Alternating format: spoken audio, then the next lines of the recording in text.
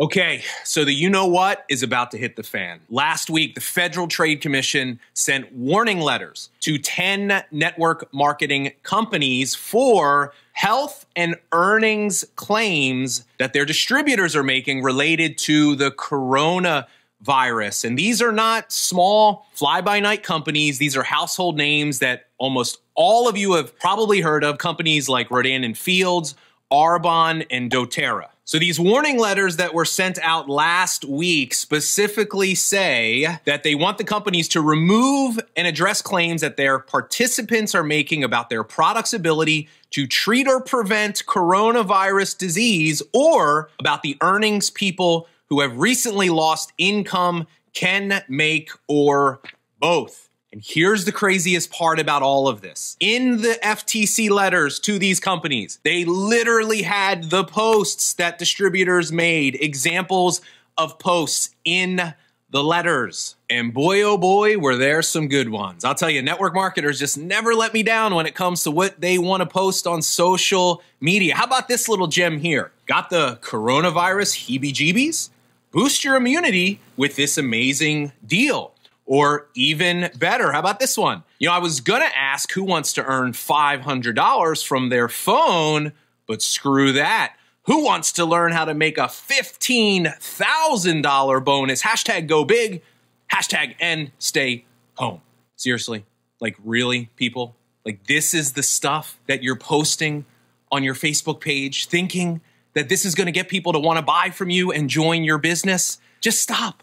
Just please stop. And I know I'm having a little bit of fun with you here because this stuff is like, you can't make this stuff up. But here's the reality this is a serious issue. And the reason why I made this video today is because of this. I want you to realize if you are in the network marketing profession, the biggest threat to your business right now is not the coronavirus. It's not record unemployment numbers, and it's not a pending recession or depression. The biggest threat to your business right now today is what the people in your downline are posting on social media. And if we don't come together as a profession, as leaders of people that are doing it the right way, if we don't come together and make a stand and start policing ourselves, we're in big trouble. So I wanted to shoot this video today to really dig deep into this subject. And for any of you that are in network marketing that hear about this and might get scared about, you know, even posting or doing or saying the right thing, I want to help you understand what this means to you so that you can protect your business, your company, and make sure you're doing the right thing. So stick around.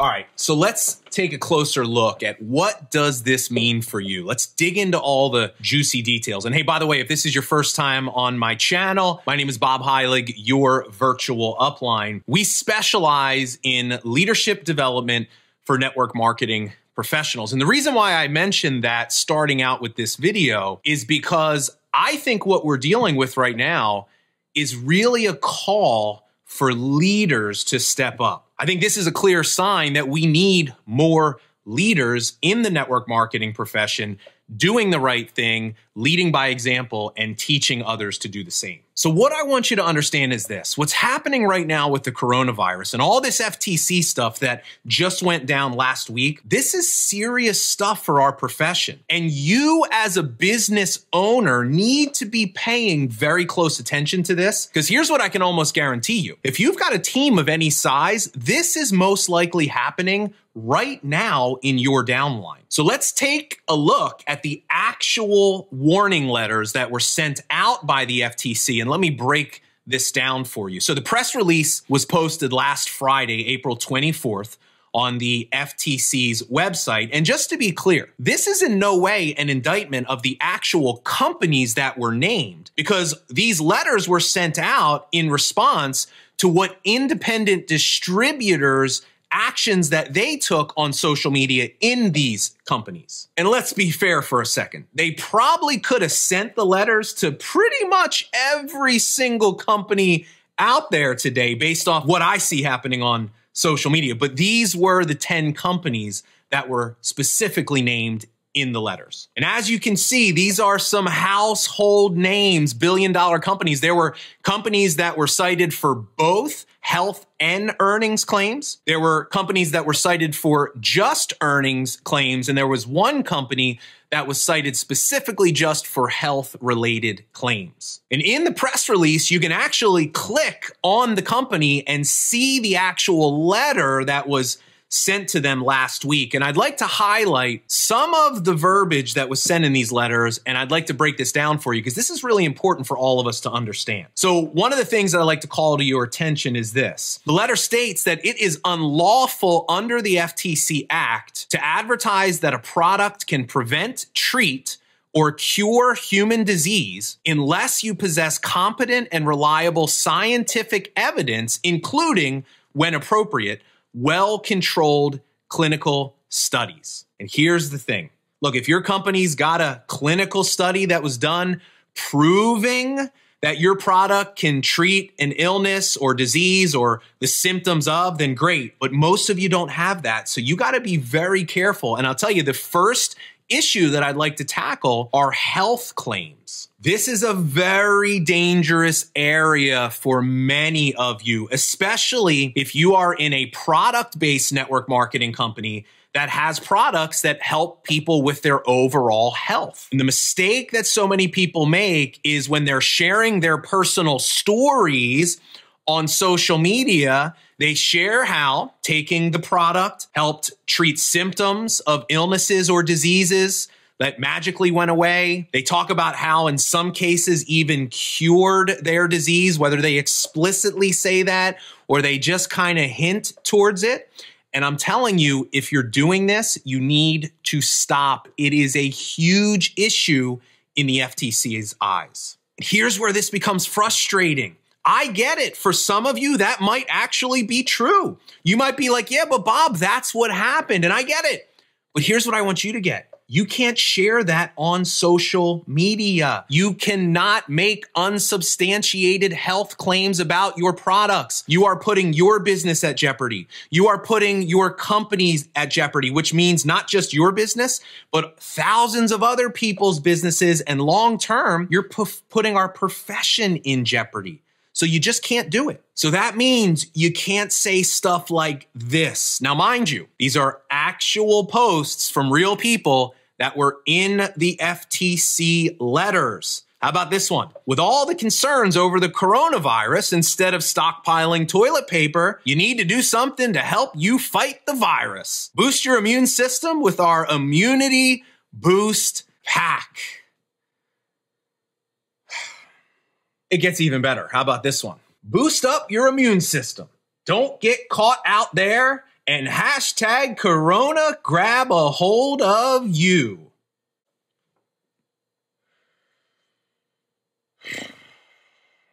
All right, so now let's cover income claims. This is another very tricky area for network marketers. And here's why because so many people operate under the false assumption that the only way they can get someone to join their business or see value in what they do is if I just keep reminding you how successful I am and how much money I make or how much money you could make if you join my team. Well, here's what the FTC has to say about that. So, in the warning letters that were sent to these companies, they say express and implied earnings claims must be truthful and non misleading to avoid being deceptive, which means that claims about the potential to achieve a wealthy lifestyle, career level income, or significant income are false or misleading if business opportunity participants generally do not achieve such results. So, what does that mean? What can we pull from that statement as an independent business owner? You cannot ever mention any specific income that either you are making or that you are promising someone else can make in a social media post without some kind of income disclaimer. What that means is basically saying that not everybody does that. You know, the whole results are not typical kind of thing. Look, every single network marketing company publishes an income disclosure statement with real life statistics about how many people make money and how much money they make. Look, they do that for a reason because it's a federal guideline. The FTC requires them to do that, but nobody really ever uses it. But here's where we run into trouble. Anybody can go to social media and post whatever they want. And as I was going through these warning letters, there's example after example. It's all the same stuff when it comes to the income claims, right? It's make an extra $500 a month. I earned this much money. I'm going to get a bonus. You know, it's over and over again. It's the same pattern of things. And you just have to realize the FTC has very strict guidelines in this area. Here's my advice use common sense right? You should not be posting a copy of your check on social media. You should not be posting a copy of your bank statement. You should not be telling people the thousands and thousands and tens of thousands of dollars, I'm going to be a millionaire someday. You should not be doing that. But it gets even trickier because if you notice, they said both express and implied earnings claims. So an implied earnings claim is where you don't mention a specific dollar amount, but you imply the fact that people can make money by joining you. And this is going to, just so you know, it's going to be even more confusing for you. But I want to give you an example of what they consider to be an implied earnings claim. So this is one of the posts that was in one of the warning letters. We all need something to fall back on when our plan A crumbles. For many, the plan A is no longer providing. Given that we all are at home trying to manage this new normal, let's chat and get all your questions answered and start getting that plan B up and running extra income. So look, no specific mention of a dollar amount, but there's an implied earnings claim there. Once again, this was flagged by the Federal Trade Commission. And if you're doing this right now, if you're making these mistakes, I want you to understand you're putting your business at risk. You're putting your company at risk, which means you're putting thousands of other people's livelihoods and businesses at risk and you're putting our profession at risk. And we just need to change. We need to be better. You just don't need to do this to get people to buy your products and join you in your business. So let's address this. There's probably a lot of you that are watching this right now that are in one of those 10 companies. Maybe you're feeling a little concerned. So let's talk a little bit about what this means for you. So it's important to understand first and foremost that these companies can and will be held liable if these issues continue to happen and go unaddressed. So let's refer to some of the language that was in the press release on the FTC's website last Friday. It says, reminding the companies that they are responsible for the claims made by their members and representatives. And they advise them that they must immediately cease making all claims that would be false or misleading. Look, almost every network marketing company has specifically in their distributor or rep agreements language prohibiting this type of behavior. So that means that if you're somebody that's doing this and you continue to do it, disregarding your company's training and the recommendations from other people in your upline, you risk losing your business. Because here's one thing I can promise you. If it's in the company's rep agreement that they can terminate you for doing this, they're not going to risk their business for you deciding that you want to go and post whatever you want on social media. You will lose your check. And it doesn't matter how big that check is they've got grounds to terminate you. And look, I can almost guarantee you, because I know these companies and I know they're great companies, they're already taking the measures, right? They're probably already going the extra mile, reminding you, telling you what you should and shouldn't be doing. But obviously, there's a lot of people that are either not listening or they're just disregarding it. And here's the thing they can't control what you post on your Facebook profile or your Instagram page, but here's what they can control whether or not they send you your check next month. So back to the question, why am I creating this video today? Because here's the thing. I know this video is going to bring out the haters in droves. And I'm sure they're probably already in the comments doing what they do, trying to rain on everybody's parade. But here's the thing. I don't care. I could care less about the haters. I'm not making this video to try to justify our profession to people that want to downplay it or talk bad about it. I could care less. I'm not going to waste a single breath trying to do that. Here's who I did make it for. I created this video for those of you that are watching this video right now that are in this profession, working hard every day, trying to improve yourself and create a better life for your family. You know, those of you that have a dream to do something bigger with your life, that have a burning desire to help people through your products and through your business opportunity, I just want you to realize social media, it's the best thing that's ever happened to your business if you know how to use it the right way. But it's also the biggest threat to the long term viability of our profession that's ever existed because people can do and say whatever they want. And that means your business. When people post stuff like that on social media, they are potentially taking food off of your table. And you got to get angry about this. And we got to come together and say no more. We got to do something. So the question is, what can we do? So I'm going to share with you three things right now that you can do to not be a part of the problem, to be part of the solution and change things for the better. The first thing is this lead by example. Show people through your own actions what the right way to do this is. Now, you might be asking, well, Bob, what's the right way to do this? Well, look, I've done an entire video, another YouTube video called Love, Serve, Grow. And I'll link it at the end of this video, but you can also click on it. I'll put it, you'll see it right here at the top of the screen. But Love, Serve, Grow is a framework that I think is the winning formula on social media today.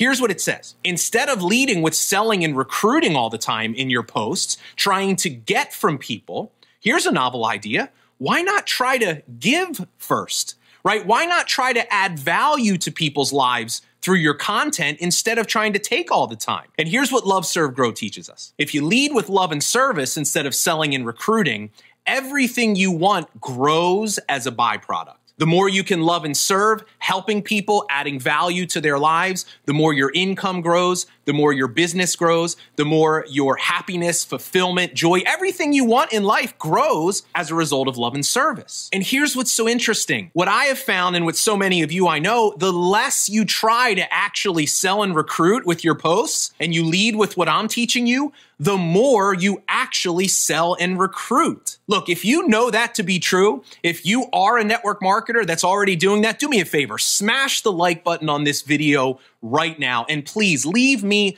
a comment. Say, yes, Bob, amen. I've been loving and serving, so I get it. I'd like to hear from you. Here's the second thing make sure you're teaching the right strategies. Look, I want you to realize this. As a leader, you have a responsibility to make sure that the people on your team are doing the right things. You've got to learn how to start teaching these strategies to your team. Here's what's so unfortunate. I know a lot of these people that are doing this stuff, they just don't know any better. It's not their fault because it's what their upline taught them to do. So you've got to break this pattern. Find out what are the guidelines that our company has. I'm going to demonstrate them first, and then I'm going to teach and train our team. Training in this area ongoing training about the do's and don'ts of posting on social media is one of the most important things that you can do, but I don't see a lot of network marketers doing that. And the third and the final thing that you should be doing is this hold people accountable. Look, if you see someone in your downline,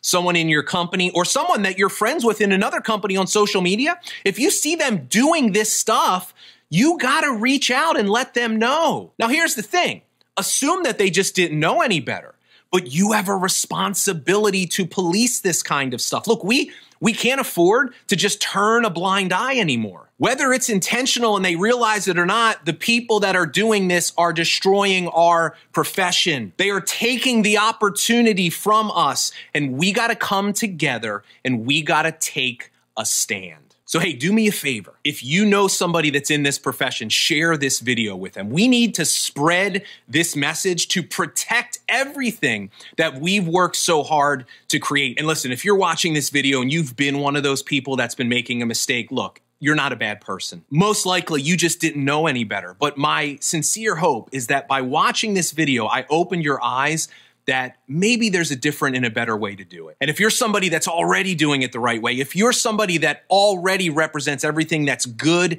and right about this profession, I would love to hear from you. Do me a favor. Leave me a comment below. Let me know if you would agree or disagree. Let's start a healthy discussion. And if you've got any additional questions, feel free to leave them in the comments below. And hey, look, if you're new to my channel, Make sure you subscribe. As your virtual upline, I create brand new training videos every single week. So, hey, thanks so much for your time, and I'll talk to you soon. Take care.